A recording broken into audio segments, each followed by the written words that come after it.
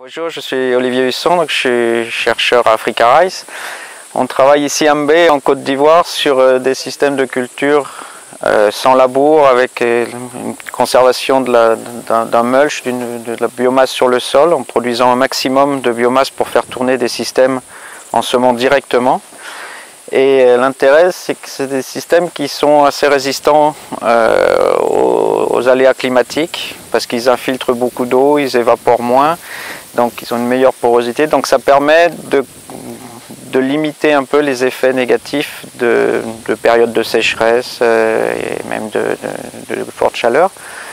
Euh, donc c'est des systèmes intéressants pour une euh, très très large partie de l'Afrique et ça nous permet de mettre au point des systèmes qui résistent à des conditions climatiques qui vont être de plus en plus fréquentes dans le, dans le futur. Avec l'anticipation sur, sur, le changement climatique, un des paramètres, c'est que les pluies seront de plus en plus instables. On aura de plus en plus de mal à prédire quand est-ce que les pluies vont, vont survenir. Donc c'est important de développer des systèmes qui résistent à ces conditions. Et B nous offre déjà ces conditions-là. Donc ça nous permet d'anticiper, de travailler en avance et de produire maintenant des systèmes qui répondront le futur. Euh, en même temps, ce qu'on voit ici, c'est qu'on est en plein à la fin d'une saison très sèche.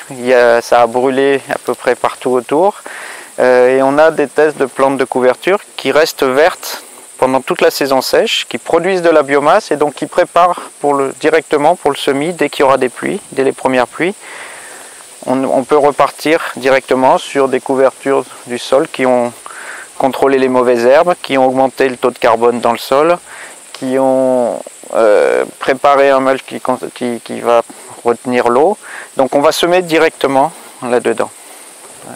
Et donc on découvre aussi des sujets de recherche et que par exemple le Cajanus qui est derrière, on s'est aperçu qu'il contrôlait très bien le Cyperus, ce qui est une des mauvaises herbes les plus importantes ici qui posent de, nombreux problèmes. Euh, il va falloir vérifier tout ça, mais ça nous pose des nouvelles questions de recherche, comment, comment le, Cajanus contrôle les superus, mais surtout ça nous offre des opportunités pour, les, pour le développement, pour les paysans, avec une couverture comme ça.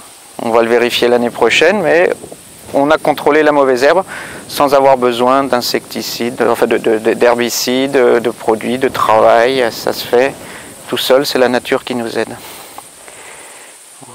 Et puis en même temps d'avoir eu le feu cette année sur une grande partie, il y a une partie des essais qui ont brûlé, ce qui va nous permettre, on va utiliser ça de manière positive, de voir comment les systèmes qu'on propose peuvent résister à un passage de feu, parce que c'est un problème qu'on va avoir dans, dans, une grande partie de l'Afrique. Il y a toujours un risque que le feu vienne détruire ces couvertures.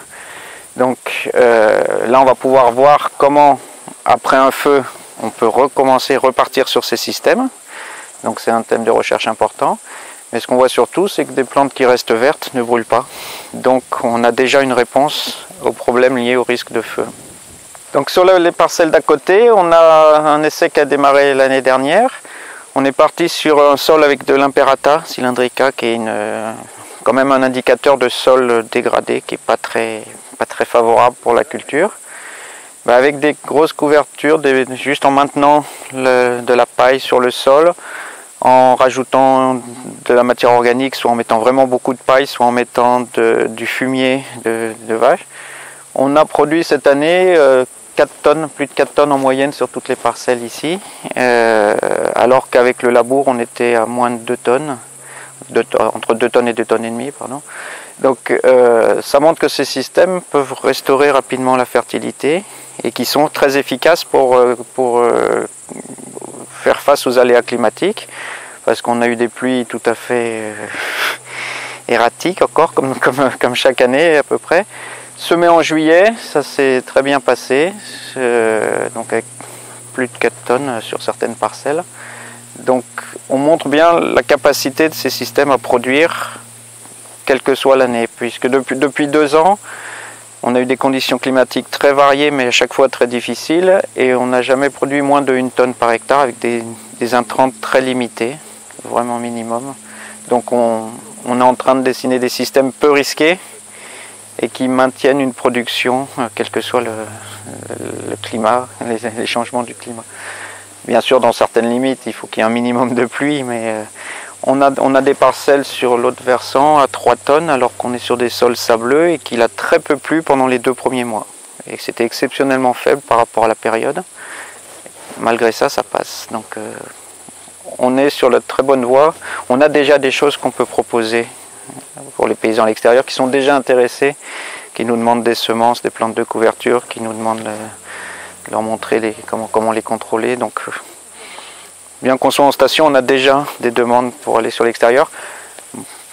Et comme on est sur des systèmes de culture qui sont en rotation avec du, riz, du maïs, c'est pour l'instant plus sur le maïs que sur le riz, parce qu'ils veulent voir sur plus longtemps le, risque sur le riz. Mais ça, laisse envisager des possibilités de diffusion assez rapide de ces systèmes.